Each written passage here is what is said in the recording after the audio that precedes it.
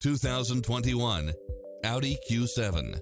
With less than 9,000 miles on the odometer, this SUV offers space as well as power and performance.